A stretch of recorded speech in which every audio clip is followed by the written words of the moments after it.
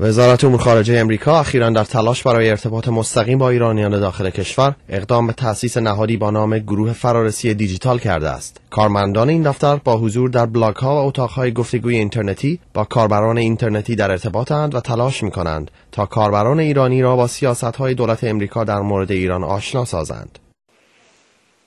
اینجا دفتر اصلی گروه فرارسی دیجیتال در وزارت امور خارجه امریکا است. این دفتر جایی است که اکنون نبض رابطه میان دولت امریکا و مردم ایران را در دست دارد.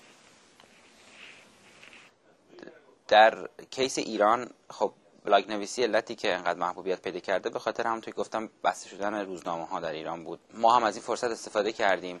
این فرصتی است برای ما که بتونیم با جوانای ایرانی با مردم ایران با هر کسی که دسترسی به اینترنت داره در تماس باشیم. در گفتگوی اختصاصی با بخش فارسی صدای امریکا برند بلاسکی رئیس این بخش از میزان موفقیت این گروه در ارتباط گیری با کاربران ایرانی سخن می‌گوید. ببینید کار ما این نیست که کاربران اینترنتی رو تبدیل به حامیان ایالات متحده بکنیم. ما در واقع از اونها می‌خواهیم که نگاهی بر اساس واقعیت به آمریکا داشته باشند. به تعبیری پیش از اون که راجع به آمریکا قضاوت کنند نگاه دیگه ای به این کشور بندازن. الان که با صدها هزار کاربر اینترنتی از طریق پیام هامون در تماس بودیم می‌تونم بگم کارمون تا حالا موفقیت آمیز بوده. شخصا متوجه شدم که وقتی وارد اتاقهای گفتگوی ایرانی میشیم تعداد بازدید کنندگان از اون اتاق به طور ناگهانی افزایش پیدا می‌کنه. تکساس.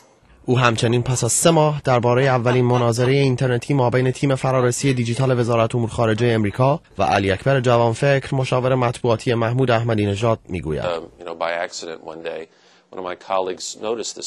یه روز یکی از همکارانم به طور اتفاقی متوجه این بلاک شد که به نظر می اومد بلاک شخصی باشه.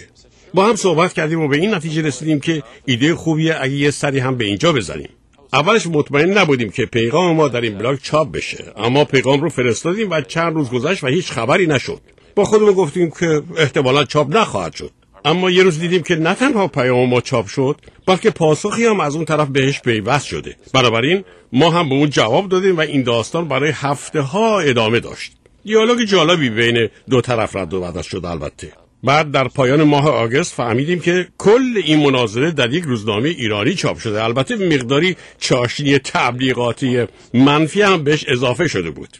با این حال ما خیلی خوشحال شدیم وقتی دیدیم تمام نظرات ما به طور مو به مو در این روزنامه چاپ شده.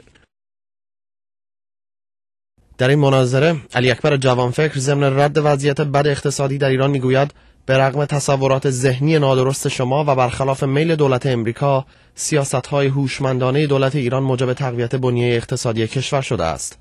وی در بخش دیگری ضمن تاکید مجدد بر صلحآمیز بودن فعالیت های هسته ایران می‌گوید دولت امریکا طی سه دهه اخیر از هیچ کوششی برای سنگاندازی در مسیر پیشرفت جمهوری اسلامی ایران فروگذار نکرده است. برنت بولسکی از نقطه نظرات وزارت امور خارجه امریکا می‌گوید.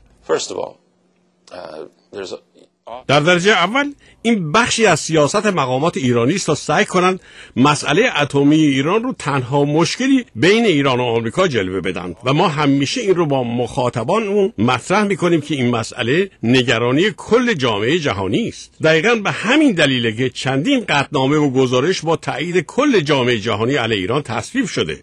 در درجه دوم به طور واضح مطرح کردیم که ما از حق برخورداری ایران از فناوری صلح آمیز هسته‌ای حمایت می‌کنیم. در واقع ما و متحدان ما در جامعه جهانی طی وسته پیشنهادی کمک های بسیاری رو در ازای توقف برنامه هسته‌ای مشکوک ایران در راه ارتقاء سطح دانش هسته‌ای ارائه کردیم.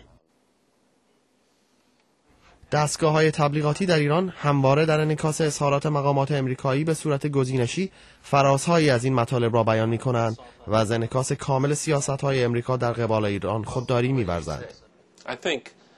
فکر می کنم خیلی از مردمی که این مطلب رو می کنند از واقعیت اصلی موضوع خبر دارند. با این حال ما هر دفعه پیام خودمون رو به گوش همه می رسونیم. به نظر می رسد که چاپ این مناظره اینترنتی در شهریور ماه سال جاری در روزنامه ایران تا حدودی به شناخته تر شدن گروه فرارسی دیجیتال در ایران کمک کرده باشد. اما هنوز تردیدهایی در میان کاربران اینترنتی در مورد ماهیت هستی این گروه وجود دارد. آرش علایی واشنگتن دی سی وزارت امور خارجه امریکا.